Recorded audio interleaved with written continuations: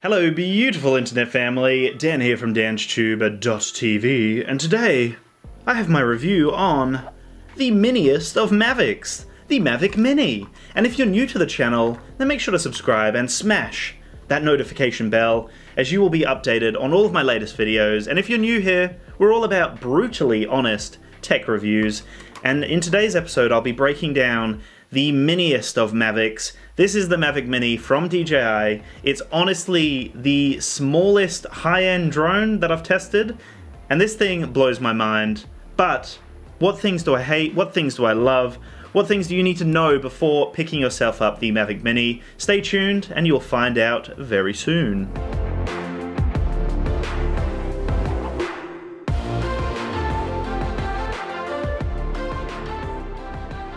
So the first thing that you need to know about the Mavic Mini is that it's mini. Now the name is very obvious. It, it's a mini drone, it's tiny. This thing is ridiculously small. When it's folded up, it's smaller than my iPhone, it's smaller than most of the phones on the market, it's extremely lightweight, which means that it's extremely portable. So the first thing to mention is the actual carry case that you get with the Fly More combo. Now I really love the Fly More combo because it actually includes three batteries, so you get a little charging hub here, and then you get this really nice case as well. And the case is actually beautiful. I've been extremely impressed with how portable it is and just the build quality on it. I've tested a lot of drones in my time and DJI have done a really good job with their packaging in the past, but this one is that next level. It's actually so well thought out. It's really secure in there. It also has a bit more space where I can actually put my little Osmo pocket there. So honestly, just a remarkable traveling case, which is why I really love the Fly More combo with the Mavic Mini. So I will actually have a link in the description below to check out the Amazon listing of the Mavic Mini. Uh, honestly, I always recommend the Fly More combo purely because I am addicted to droning. As you can see, I have a clothing brand called Eye in the Sky Clothing, and I have a Flying Furious design, which is inspired by the FPV community. But anyway, I digress. This drone right here has a 30 minute flight time, which is great, but when you're out there and you're flying, you probably only get about 25 minutes, and if it's really windy, maybe 22 minutes. So you want to make sure that you've got as much flight time as possible. You don't want to miss out on those crazy shots. So that's why I always recommend the Fly More combo, so you get those additional batteries. So the Fly More combo gives you the three batteries. Like I mentioned, the charging hub, which I actually really like the charging hub as well. It just fits nicely in there and keeps your batteries nice and secure. You've also got a battery indicator, so you can tap that power button once and you can see how all of the batteries are going. It charges relatively well. It's actually really quick charge time from what I've uh, kind of noticed about 30 to 40 minutes per battery. Uh, hard to kind of gauge what the other ones are, but normally they're about an hour or so for the larger batteries. So 30 to 40 minutes for the Mavic Mini batteries. And they're quite small, again, it's quite a small drone, so without the battery, it's just a really lightweight chassis, uh, very like plasticky to the touch, uh, and even though it's built really well and it feels like a DJI drone, it is a little bit plasticky, which is kind of the trade-off of such a lightweight drone. Anyway, lift this little flap up and you'll notice it's probably the most flimsy flap I've ever seen on a drone and it really does worry me but luckily the connection is actually a physical like clicking connection so as you slot it in it, it actually clicks in and it's it's it's in there. You can't actually remove it unless you press that button in and pull it out. So worst comes to worst, if that flap actually comes off and you break it for some reason, that battery's not coming out. You physically have to press the button to pull it out. Also, the micro SD card slot is actually exposed without the flap being up, so that means quick and easy access to the micro SD card. Also, it does weigh 249 grams, so it's just underneath those regulations of a lot of countries where you have to have uh, some sort of you know, license or you have to register your drone if the drone's over 250 grams. So this little cutie is only 249 grams, so it comes in just underneath. I'm sure they'll change those rules at some point though because this thing is very powerful. That's the thing you really need to know about it. It flies extremely well. It's very agile in the air and it handles the wind like a champion. So I've been really impressed with its performance overall and I'm just going to kind of break down my experiences with it, how I have found the actual footage, how I found the flight experience, how I found even the controller. Just, I'm gonna try to break down everything so you guys know exactly what you're getting with this drone. So what I've actually really enjoyed doing with this drone is hand catching it and hand launching it. And it's ridiculously easy to do. The application has this big old fly button that you press and then hold it for a period of time until the ring fills, and then you let go, and the drone will start taking off. Really easy to take off. And then when you want to land, you basically press the land option, press and hold that landing button again, which is a big circle that goes around, and it will slowly come down. And because there are actual sensors here, if you have your hand underneath the drone, it will start taking off again. So what you need to do is you basically press and hold the land, it will slowly come down, and then you put your hand underneath. And that's actually how I've been using this drone predominantly. Like that's all I've been doing, just hand catching and hand launching, and it's been really easy, even though this is a very cheap kind of build to it because they've obviously had to cut down on the weight, it still feels like a DJI drone. When you hold it, yes, it feels a bit light, and there are certain parts where you're kind of like, oh, it's a bit kind of cheap there, but overall it's built really well. And the biggest thing I really loved about the actual Mini was how the folding mechanics work. It still feels like a heavy duty folding mechanism. It doesn't feel cheap and it doesn't feel like this is going to snap at any point. I was really impressed with the folding mechanisms. I was also really impressed with the camera itself. It shoots 2.7K at 30 frames per second and 1080p at 60 frames per second. It also has the three axis gimbal, which the Spark did not have. It had that two axis gimbal,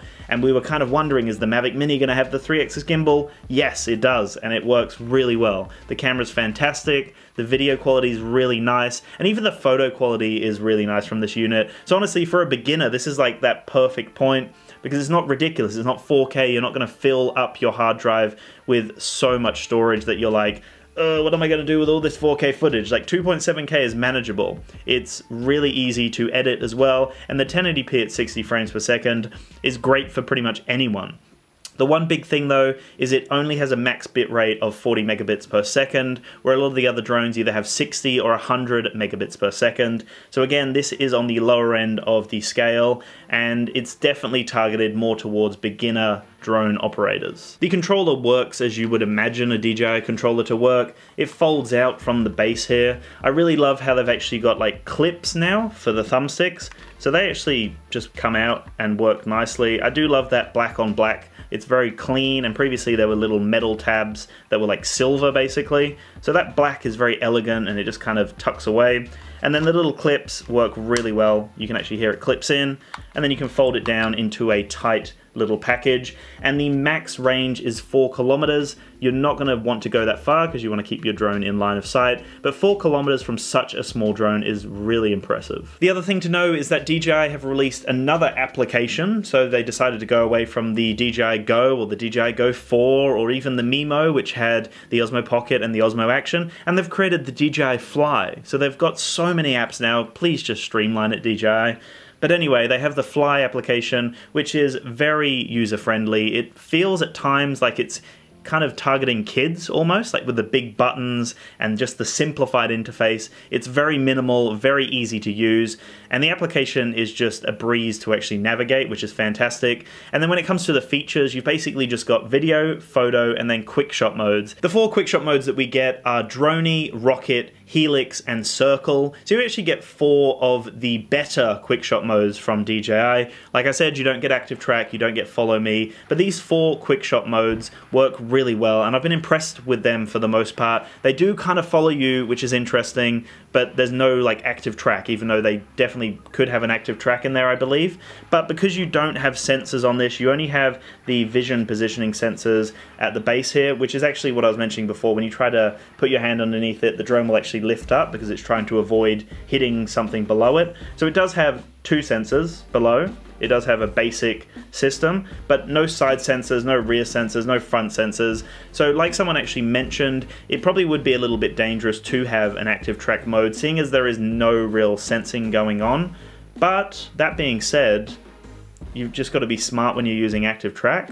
You know, you just stay above the tree line. You don't fly near like heavily populated areas. But seeing as this is targeted for, you know, beginners and, and kids, I guess you'd say, it does make sense that they haven't done that. I feel at some point they might still add active track, maybe, because it would probably increase the sales. But for what you've got right here, it's a really good drone to actually start getting used to. And that's another good point that someone made on a, a, forum that I'm part of, on a Facebook forum. They said that the reason they probably haven't done active track as well is just to help beginners actually get used to how to maneuver and how to control a drone. Because if we're relying on all these modes, then we're purely relying on them and we don't actually know how to maneuver and, and use the drone. So this means that we have to get used to those smooth shots. That means that we have to get ready to get away from, you know, a bird or a tree or whatever it may be. And that's actually really important for people to get used to and learn. So that was a really good point. And mentioning birds, the birds love this thing. It's so small and it doesn't really dominate in the air, so birds seem to have a lot of interest towards the Mavic Mini. So be mindful they like your Mavic Mini. So for a beginner drone, the Mavic Mini is pretty much all you would need. You've got 2.7K, you've got 1080p at 60 frames per second, you've got that 30 minute battery life, you've got four quick shot modes, you've got photo options, video options, you've also just got a really reliable DJI drone that is super reliable in the air. It hovers really well, it actually handles wind really well, which I was impressed by. Such a small drone handling wind blows my mind because I've used a lot of cheaper drones and they just do not work well at all. But this actually holds its position. It works its ass off to hold its position, but honestly blows my mind how well it does in high winds. So I've really tested this. I've really put it through its paces and I can't floor it, you know? It's a, an affordable tiny drone. It's a foldable drone. Like it's so tiny, it folds away to nothing. Look at this thing so small. It's literally just ridiculous. So for a starter drone pilot, for someone who wants to start out and wants to buy something, but is maybe a little worried about it crashing or not being as reliable, this is what you need. This is reliable in the air. It's got all of DJI's safety and reliability checks that all of their other drones have. It, it just is so good. Obviously, DJI have done a lot of, uh, or spent a lot of money on research and development to ensure that it is the most stable flight with all their other previous drones, and that's all built up to the point that they could release something of this caliber that only weighs 249 grams, that has a 3-axis gimbal, that can shoot 2.7K, has a 30 minute flight time, which you probably only get 25 minutes, but overall it's just, it's really good. So the Mavic Mini is a phenomenal drone that I would recommend to anyone wanting to buy a drone for the first time. Anyway, thank you so much for watching. Let me know what you think in the comments below. If you've got a Mavic Mini, I'd love to read one of your comments. I'd love to hear how you're going with it. Do you think they'll add active track in the near future? Let me know. Anyway, have a fantastic day. Make sure to subscribe if you haven't already, and peace out.